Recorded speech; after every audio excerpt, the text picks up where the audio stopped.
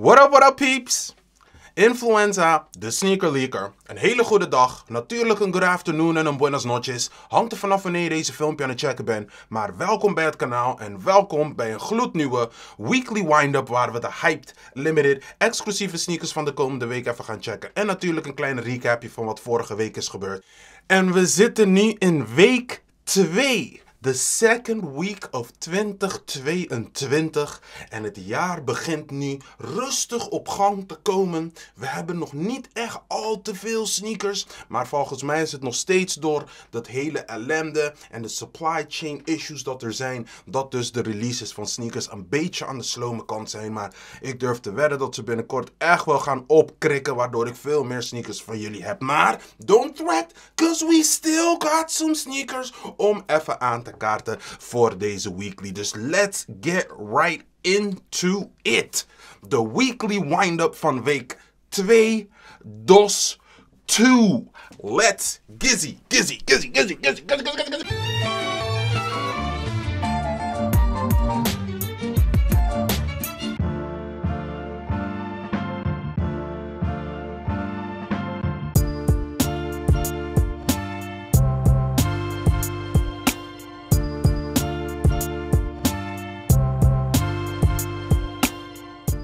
De Jordan 4 Red Thunder moet dus deze week uitkomen. En natuurlijk ben ik op de sneaker app aan het checken of de release datum nog klopt of niet. Want we hebben vertragingen gehad. Deze sneaker die moest eigenlijk ergens in oktober van 2021 uitkomen. But it got delayed, it got pushed back. Jullie kennen het verhaal. Als jullie mijn eerste filmpje hebben gezien van week Uno, dan weten jullie dat er is een supply chain issue door al het ellende die gaande is. Vandaar dat dus veel sneakers vertraagd zijn die allemaal verleden jaar uit moesten komen. Die zijn allemaal pushed back. En nu zie je dat ze rustig aan het trickelen zijn. Dat ze dus nu toch wel uitkomen. Waardoor ook nog eventueel winkels vertraging hebben vergeleken met de official delayed release date van veel van deze sneakers. Alleen, wat jullie me al hebben horen zeggen, het is de Jordan 4 Red Thunder. Of tenminste, zo heb ik het meegekregen. Dus zo heb ik mijn onderzoek gedaan dat het gewoon de Jordan 4 Red Thunder moet zijn. Maar er staat dus niet op de sneaker app de Jordan 4 Crimson. Als jullie mijn vorige filmpjes hebben gezien, jullie weten hoe ik ben met naamverandering van sneakers. There is a publicly appointed name voor deze sneakers die uitkomen. Because we're all waiting for half of these sneakers that Nike en Jordan bring out. Zitten wij gewoon op te wachten. Het wordt al maanden van tevoren aangekondigd met een bepaalde naam. En dan laatste moment weer, zien jullie weer hier nu op de sneaker app, dat die naam wordt veranderd. Why? Who knows? Who knows? Maar een beetje history over deze sneaker. Deze sneaker was eigenlijk een pakket. Er was een Jordan 4 Thunder en Lightning in 2006. En dan had je dus twee sneakers. Je had de Jordan 4 Thunder en je had de Jordan 4 Lightning. De Jordan 4 Lightning was dus helemaal in het geel met zwarte en grijze accenten. En de Jordan 4 Thunder was dus omgekeerd. Het was een hele aparte release. Het was geen standaard kleurenblok dat Jordan heeft gedragen in his glory days. Maar de kleurencombinatie was nog steeds dope. En het was eigenlijk een pakket. Dus de aantallen van die sneakers. De Jordan 4 Thunder was misschien iets van 500 paar toen die tijd. Dus het was extremely limited. De Jordan 4 Lightning neem ik aan omdat het in een pakket was. There weren't much more pairs dan 500 of 1000 paar van de Jordan 4 Lightning toen die tijd in 2006. Nou hebben we een retro gehad van deze sneakers in 2012. Als het goed is was het de Jordan 4 Thunder die dan in 2012 was uitgekomen. En we hebben laatst in 2021 hebben we de Jordan 4 Lightning gekregen. En nu komt dus de Jordan 4 Red Thunder uit. In een soort van play op dus de Jordan 4 Normal Thunder. Die dus in 2006 en 2012 dus ook zijn uitgekomen. Dus zwart met geel hebben ze niets veranderd. Dus het gele accent hebben ze veranderd met rood. Dus de Jordan 4 Red Thunder. Maar nu zie ik op de sneaker heb Crimson. Dus ze hebben weer een hele andere naam ervoor wijzen te verzinnen. Why? Who knows? Als je het gewoon de Red Thunder had aangehouden, kreeg je nog een beetje hype mee van de Thunder. That's very elusive. Wat veel mensen misschien nog wouden hebben. Zaten erop te wachten. En dan flipt Jordan het net een klein beetje van ja, jullie krijgen wel de Thunder, maar not with yellow. Jullie krijgen het nu met rood. En dan laatste moment, of naar mijn idee, laatste moment, dan kom je ook nog met een naamsverandering. Van in plaats van Red Thunder is het gewoon nu Crimson geworden op de sneaker. En dan gaan jullie zien, als jullie op de resale market gaan, is er groot kans dat veel van die resale sites houden dus de oude naam aan en niet de last minute verandering.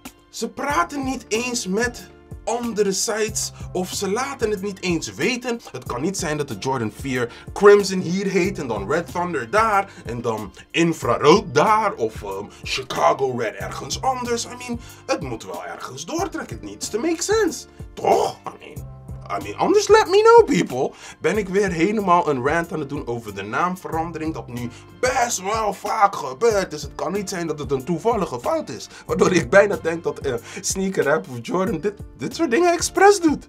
De sneaker is nog steeds dope. We have a black and red colorway, bijna een bread colorway. Maar I don't know of de rood van dus de Red Thunder of de Crimson daadwerkelijk diezelfde rood is als de Chicago Red of als de infrarood. I mean, volgens mij zit er een verschil tussen die kleuren. Because the color looks pretty on the bright side.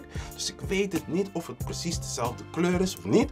We're gonna have to see if we get lucky met de sneaker in hand. Het is een nubuck upper, volledige nubuck upper. En dan heb je dus die rode accenten op dezelfde plek als wat je bij de normale Jordan 4 Thunder had.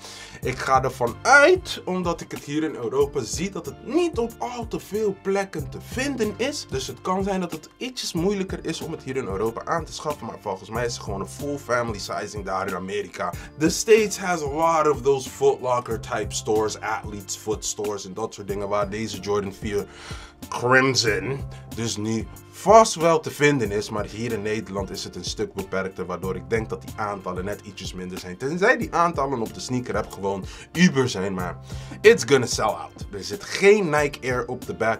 Dus je hebt gewoon een Jumpman in het wit.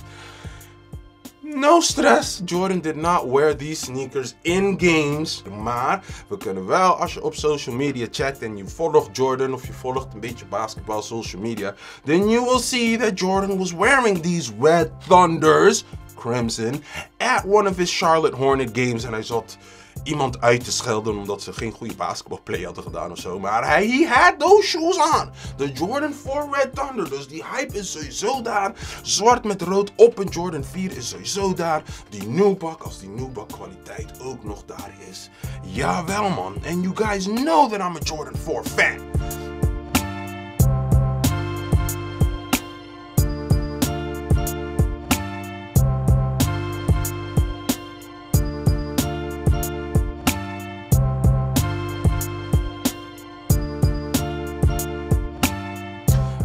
Dus dat pieps, dat was de weekly wind-up van week duo. Laten we gelijk verder gaan met de recap van week uno, one, 1. En dan heb ik dat zo gedaan, 3, 2, 1 met 1, 2, 3. Maar zijn alle drie eens, maar let's gizzy, gizzy, gizzy.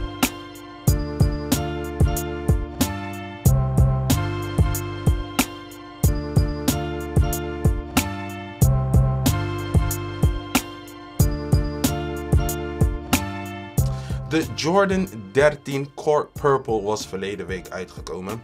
En dat was de sneaker dat was geïnspireerd door een Black Cat of door een Black Panther. En dat zie je ook nog bij de outsole. Hebben ze echt die paw print van een panther. We hadden ze nabootsen. Je ziet ook nog bij de hologram op de heel counter zie je ook nog een black cat. Of tenminste, it needs to resemble a black cat. Je ziet wel de hologram van Jordan en zijn nummer 23 in. Dus die eye van de black cat. Die had 3M reflective op de upper van de sneaker. Bij dus dat mesh gedeelte waar een soort van golfball holes erin had. En je had court purple accent in het zware op de sneaker. Maar de Jordan 13 was echt die performance sneaker. Echt voor die basketballer. Kan ook nog voor casual wear gedragen worden, maar het is echt die basketball technic high performance sneaker gewoon. En ik heb er ook nog grijs ingespeeld. Ik had die hele zwarte.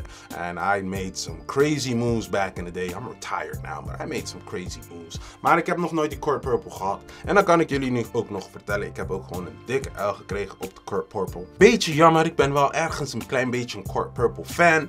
Maar ja, L. I mean, we're starting the year off good met de dikke L's die we hebben gekregen. Maar als we gaan kijken terug weer, de retail was 190 euro. En als we gaan kijken naar de resale in a size 13 gang, mensen, gaat die voor ongeveer 230 euro. Dus tussen de 220 en de 260 euro in a size 13 gang. Dus je krijgt een minuscule lunch money op het moment als je het nu binnenkrijgt en je gaat het nu op de resale markt verkopen. Krijg je minuscule school lunch money. Volgens mij, you'll break even after all the fees. Dus op het moment is het nog niet daar. Maar who knows? 5, 6 months later, who knows? Krijg je misschien nog een 50, 60 euro.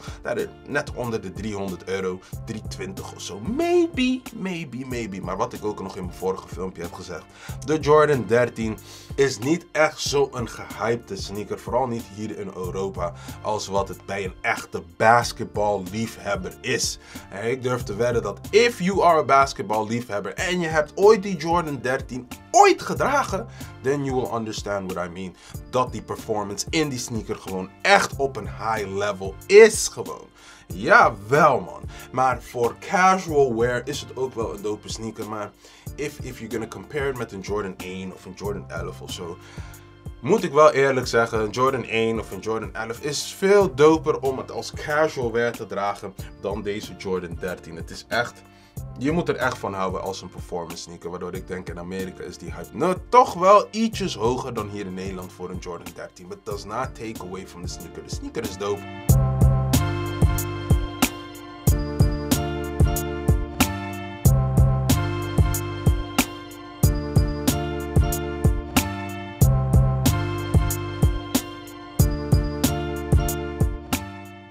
Maar dus dat pieps, dat was de weekly wind-up van week 2, 2, DOS en natuurlijk de recapje van week 1, 1, 1.